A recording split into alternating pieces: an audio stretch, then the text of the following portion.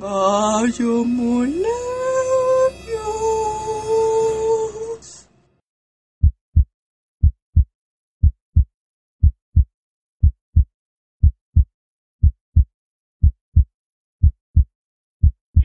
this class we will see biomolecules.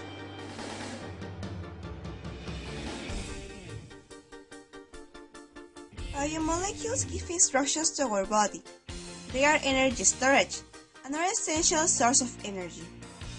We are going to study carbohydrates, lipids, and proteins. Add them all.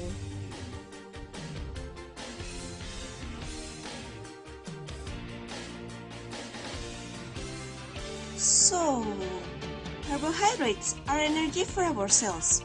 They are made of carbon, hydrogen, and oxygen in a ratio of 1, 2, and 1.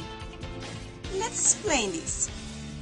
In other words, for each carbon atom, there are two hydrogen atoms and one oxygen atom. Easy, right? Types of carbohydrates. Simple. Monosaccharides, one sugar molecule.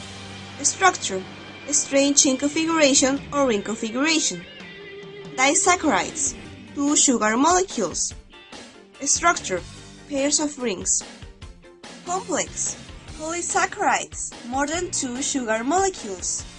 Structure, many rings linked together. They are composed of monosaccharides. Example,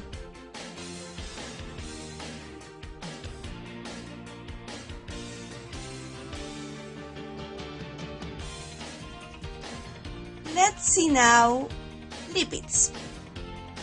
Lipids are non-polar organic compounds that come in three forms: fats and oils, steroids, and phospholipids. Fats and oils. They are chemically very similar. In fact, the only difference between a fat molecule and an oil molecule is the number of carbon-to-carbon double bonds in the fatty acids. A fat molecule is bigger it has many carbon-hydrogen bonds.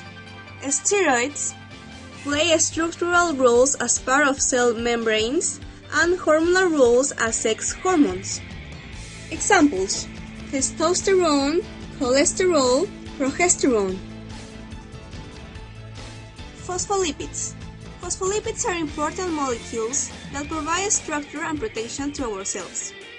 They have one polar part that is the phosphate group, and the rest is non-polar. Let's continue with proteins. Proteins are long chains of amino acids linked together by peptide bonds. They are the most complex and abundant biological macromolecules in cells.